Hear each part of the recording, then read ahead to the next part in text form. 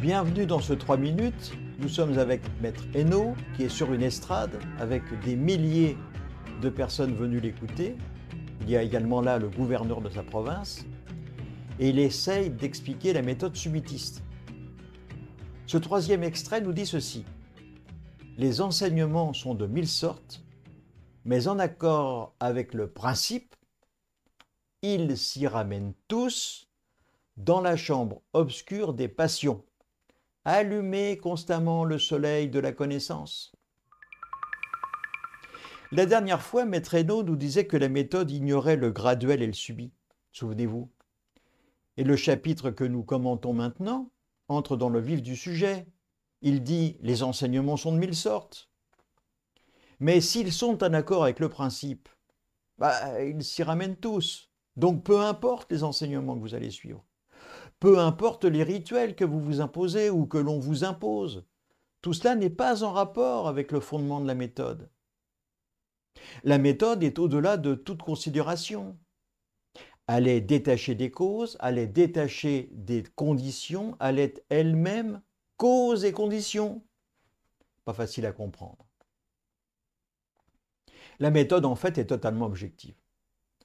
Quels que soient les enseignements que l'on suit, si l'on est déterminé, on va vite se rendre compte que si ceux-ci sont en accord avec le grand principe, le vide coup, la mystérieuse coïncidence, eh bien le résultat obtenu va nous amener toujours la même réponse.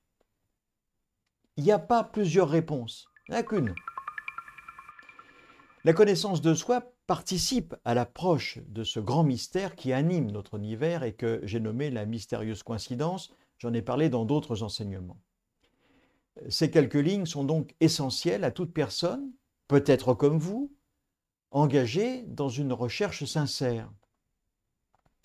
A priori, selon Maître Hainaut, toutes les recherches sincères sont en accord avec le grand principe édicté par la méthode. Et donc, il continue, il dit ceci, dans la chambre obscure des passions, allumer constamment le soleil de la connaissance. Alors, la chambre obscure des, passions, c'est le samsara, c'est là où nous sommes, là maintenant. C'est la raison pour laquelle il faut que nous allions vers la connaissance, pour dépasser. C'est important. Quelle que soit notre condition en tant qu'être humain, nous sommes animés par toutes sortes de passions, et puis les passions, vous le savez certainement, sont la porte ouverte, béante sur la souffrance. Dans notre société, cette ligne doit particulièrement attirer notre attention sur ce qui se passe en nous, autour de nous. Les êtres que nous côtoyons dès leur plus jeune âge, qui sont biberonnés à l'individualisme, à la culture des passions, de leurs passions. Moi tout seul, moi je, moi, moi, moi. Cela crée en eux l'impression d'être seuls au monde, ils oublient de vivre en cultivant l'accumulation de petits plaisirs.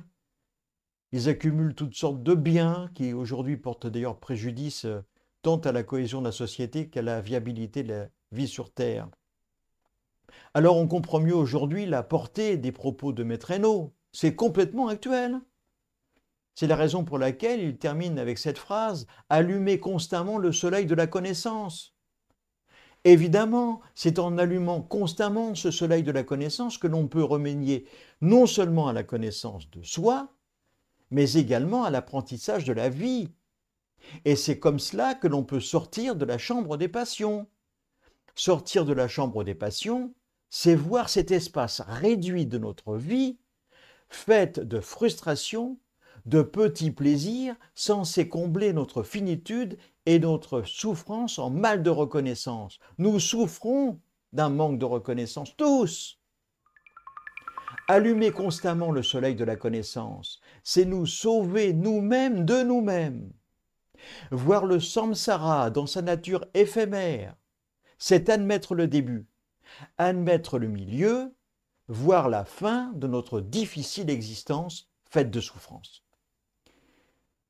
pour arrêter cette souffrance du mal-être. Le plus simple, c'est donc de comprendre ce que veut dire être. Il s'agit donc non pas de faire de petites incursions sous le soleil de la connaissance, je fais un petit tour et puis voilà, mais bien de vivre dans l'illumination de celui-ci durant toute notre existence en permanence.